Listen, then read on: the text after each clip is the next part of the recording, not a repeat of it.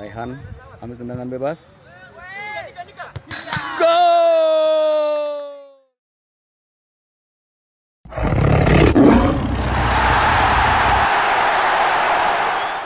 Putra pertama dari gelandang legenda timnas Indonesia Firman Utina yang bernama Raihan Utina kini berada dalam skuad Persija Jakarta Under 16. Masih dalam usia yang cukup muda, Raihan punya cita-cita untuk bisa menorehkan perjalanan karir seperti sang ayah.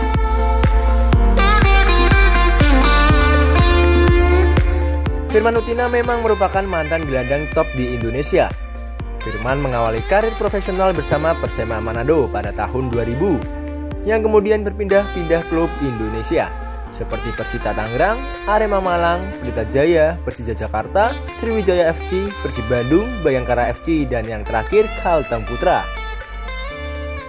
Sepanjang karirnya, ia bersama klub yang pernah dibelanya berhasil membawa segudang prestasi yang dicapai. Kepiawaian mengawal lini tengah dengan sangat baik membuat Firman Utina juga menjadi langganan timnas Indonesia. Dengan total mendapatkan 67 caps dalam rentan waktu 2011 hingga 2014. Kini putra pertama dari Firman Utina, Raihan merupakan bagian dari Persija U16. Sebagai anak yang sudah dijejali sepak bola sejak kecil, Raihan terinspirasi untuk mengikuti jejak sang ayah ia berusaha keras untuk bisa menjadi pesepak bola yang baik sama seperti sang ayah.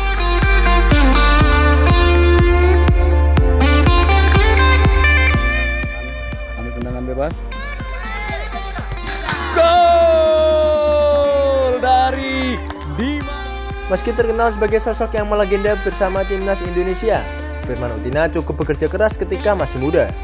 Saat berusia 12 tahun, Firman sudah bergabung bersama Indonesia Muda Manado FC dan kemudian bersama Bina Taruna Manado FC.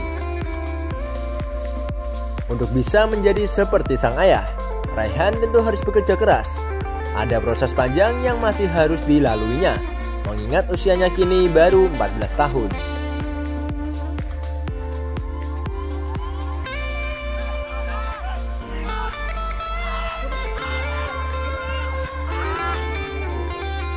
Namun Rehan selalu mengingat pesan dari sang ayah untuk karir sepak bolanya.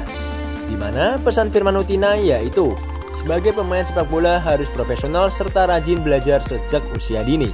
Selain itu, ada tiga hal disiplin yang harus dijaga dan terus dilakukan, yaitu disiplin latihan, disiplin waktu istirahat, dan disiplin pola makan.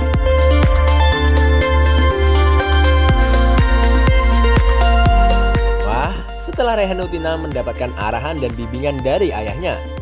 Semoga di masa yang akan datang ia bisa mengikuti jejak karir sang ayah ya guys.